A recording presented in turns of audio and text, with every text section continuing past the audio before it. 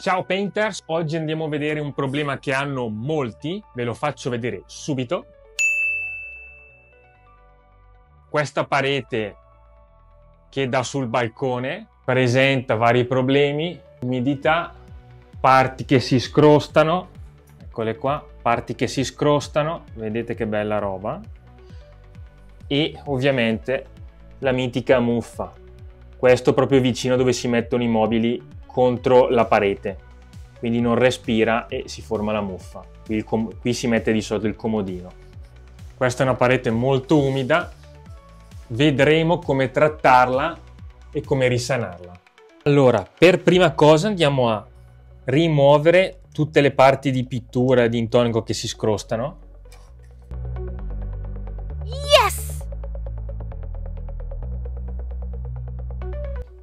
Il consiglio che vi do è di usare una lama come questa. Sarà più facile la rimozione rispetto alla spatola che è molto più rigida. Allora, adesso abbiamo finito di scrostare tutto. Guardate che bel lavoretto. Procediamo adesso a dare una mano di primer, in modo tale che lo stucco che daremo si ancori perfettamente.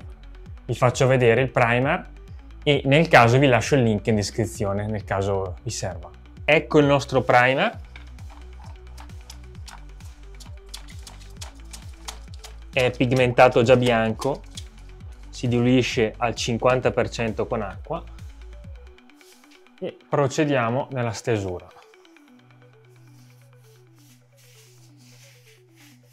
Il primer si presenta molto granuloso,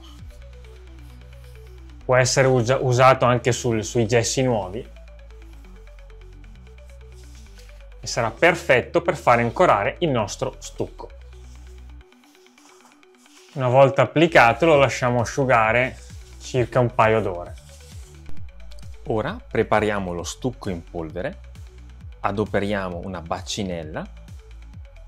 È importante aggiungere il prodotto in polvere poco per volta per evitare la formazione di grumi e per facilitare l'emulsione. Con una spatola in ferro, infine, mischiamo lo stucco senza avere fretta e cercando di ottenere un impasto omogeneo. Ora mettiamo un po' di stucco sul frattone stondato in acciaio e lo applichiamo facendo movimenti in diagonale. Una volta data la prima passata di stucco, lasciamo asciugare per circa 2-3 ore. Dopodiché ripeteremo lo stesso procedimento.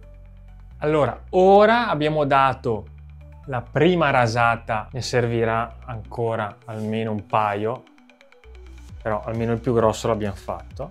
Adesso mentre asciuga, vedete là che c'è un po' di muffa e umidità, è uguale qua sotto, ok? Adesso faremo eh, una cosa che va fatta con la muffa, ossia usare un fungicida e andare a uccidere tutta la muffa. Essendo appunto un essere vivente, va eliminata, va uccisa prima di trattare con una pittura antimuffa. Di solito si usa la candeggina, ma è proprio la cosa più sbagliata che ci sia usare la candeggina sulla muffa. Ho versato un po' di fungicida qua, vedete trasparente, pronto all'uso, è fatto di oli essenziali e sali che andranno a uccidere la nostra muffa.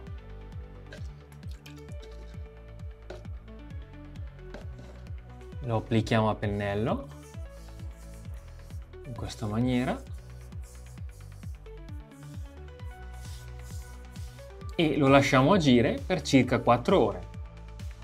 Dopo aver lasciato asciugare la prima passata circa un paio d'ore, diamo una lamata per togliere le sporcizie e le grossezze che abbiamo lasciato e poi procediamo con la seconda passata.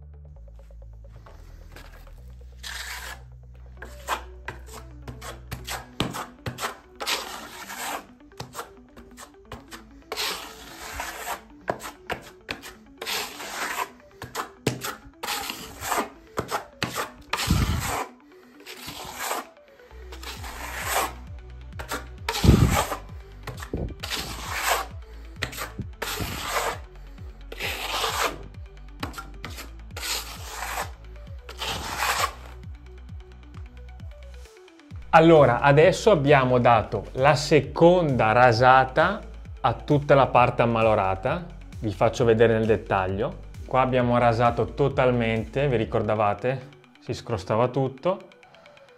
Lasceremo asciugare ancora qualche ora e poi daremo una carteggiata. Ora il problema sono queste macchie d'umidità, vedete? Mi avvicino. Queste se andiamo sopra con la pittura normale usciranno ancora. Dobbiamo usare un prodotto antimacchia. Io userò questo, che è una bomboletta spray, un primer all'alcol. C'è anche la pittura eventualmente, quindi potete darla anche a pennello nel caso, vi lascio il link in descrizione. E spruzzerò questo per bloccare quelle macchie d'umidità.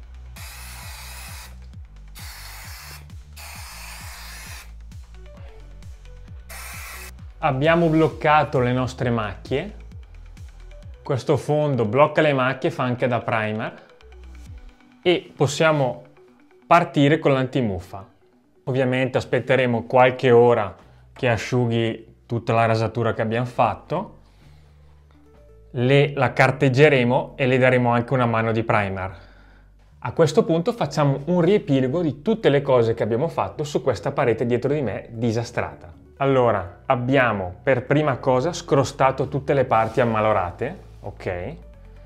Ecco tutto il residuo, bellissimo. Abbiamo dato una mano di primer e rasato due volte. Infine abbiamo dato un'altra mano di primer. Poi, dove c'erano le macchie d'umidità, abbiamo dato un primer specifico antimacchia e abbiamo trattato con un liquido fungicida, quindi per andare a uccidere il, la muffa tutta la parete dove era presente la muffa. Ora passeremo alla fase finale, quindi daremo due mani di antimuffa termica. Termica perché? Perché questo è un muro perimetrale dove si forma spesso la condensa, quindi c'è molta differenza tra il muro, tra la temperatura del muro e la temperatura interna. Adesso vi faccio vedere eh, il motivo di questa cosa. Questo misura la temperatura delle pareti, come se fosse un termometro. Allora vi faccio vedere. Questo è il muro in parte. Faccio vedere. Misura 28 gradi.4 Ora andiamo al muro disastrato. Vedete già come la temperatura sta scendendo, spostandomi solo. Allora adesso la differenza non è tanta perché è estate, quindi eh, batte il sole e la parete si scalda. Ma d'inverno questa differenza si accentua. Crea quindi la condensa, che è la pappa ideale per la muffa, e viene a formarsi la muffa. Questo è il motivo per cui usiamo la pittura termica antimuffa. Partiamo! Ora applicheremo due mani di questa antimuffa termica. Questa tipologia di pittura è caratterizzata da microsfere di vetro o in ceramica e si può applicare sia internamente che esternamente. La funzione di questo prodotto è quella di creare uno strato protettivo tra la parte interna della casa e l'esterno, aiutando a creare una situazione di maggior comfort termico. Diluizione massimo 10% con acqua. Allora, ecco il lavoro ultimato. Abbiamo dato due mani di antimuffa termica. Guardate, non ci sono più macchie d'umidità, abbiamo stuccato tutto quello che si sfogliava e anche la muffa è sparita totalmente. Ora ditemi, voi come risolvete questi problemi? Scrivetemi nei commenti, fatemi sapere. Ciao, alla prossima da Manuel!